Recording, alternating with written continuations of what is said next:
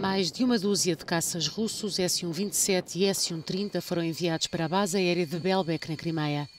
A chegada dos aviões acontece numa altura de particular tensão entre Rússia e Ucrânia.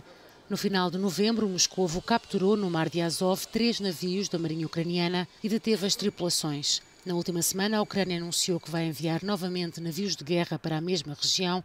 A Rússia já acusou a Ucrânia de provocação. Esta sexta-feira, o ministro britânico da Defesa fez uma visita surpresa à cidade portuária de Odessa. Gavin Williamson encontrou-se com o ministro da Defesa ucraniano e afirmou que o Mar Negro não pertence à Rússia.